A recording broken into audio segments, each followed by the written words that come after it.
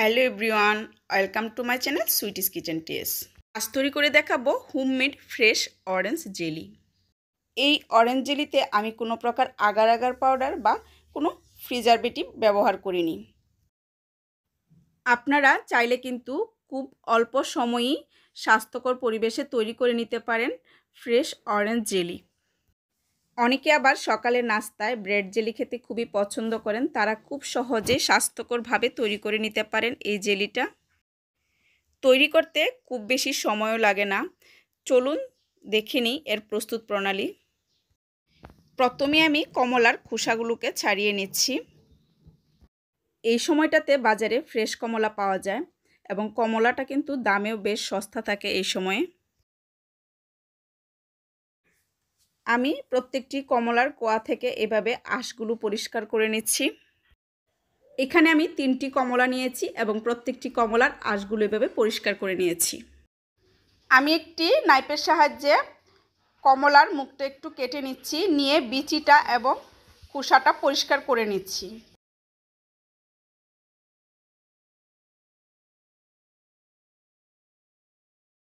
এভাবে সবগুলো কমলার বিচি এবং খোসা আমি পরিষ্কার করে নিয়েছি।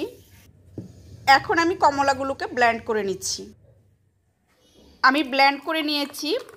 তিনটি কমলা থেকে এক গ্লাস পরিমাণ জুস হয়েছে।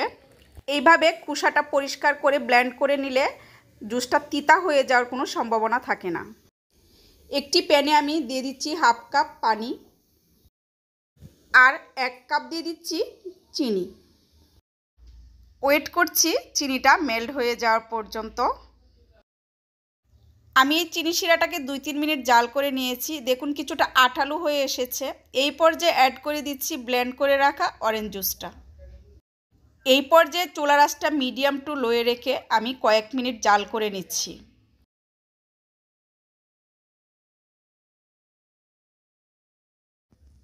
অ্যাড করে দিচ্ছি এক ফালি লেবুর রস।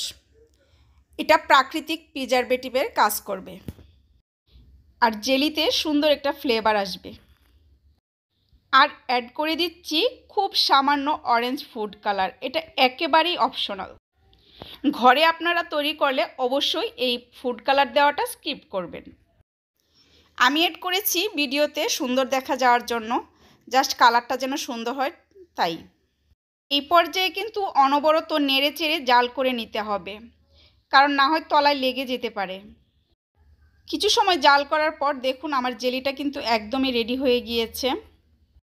আপনারা কীভাবে বুঝবেন যে জেলিটা পারফেক্টভাবে তৈরি হয়েছে বা এই পর্যায়ে নামিয়ে নিতে হবে? একটা প্লেটে কিছুটা জেলি নিয়ে এক সাইডে রেখে দিবেন, দুই মিনিট ঠান্ডা করে নেবেন। দুই মিনিট পর জেলিটা ঠান্ডা হওয়ার পর দেখুন একদম জমে গিয়েছে। তাছাড়াও আরেকভাবে বুঝতে পারবেন এই যে দেখুন, আমি একটি চামিচে নিয়ে হাতের সাহায্যে চেক করে নিচ্ছি। দেখুন, আঠালু হয়ে গিয়েছে। এই পর্যায়ে নামিয়ে নিতে হবে।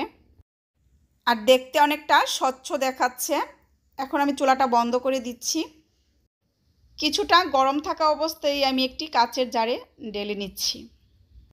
যে পাত্রে রাখবেন, সেটা আগে অবশ্যই পরিষ্কার করে রেখে দিবেন। কিছুটা গরম থাকা অবস্থায় ঢেলে নেবেন। এক থেকে দেড় ঘণ্টা রুম টেম্পারেচার রেখে দিলে জেমটা জমে যাবে বা জেলিটা জমে যাবে। ফ্রিজের নর্মাল চেম্বারে যদি রেখে দেন, তাহলে আপনি দুই থেকে তিন মাস এই জেলিটা সংরক্ষণ করে খেতে পারবেন। আমার এই রেসিপিটি ভালো লেগে থাকলে ফ্রেন্ডস অ্যান্ড ফ্যামিলির সঙ্গে শেয়ার করার অনুরোধ রইল। আর ভিডিওটিতে একটি লাইক দিবেন আর চ্যানেলটি সাবস্ক্রাইব করে পাশেই থাকবেন। আর হ্যাঁ বেল আইকনটি অবশ্যই প্রেস করে দিবেন। Thank you for watching bye bye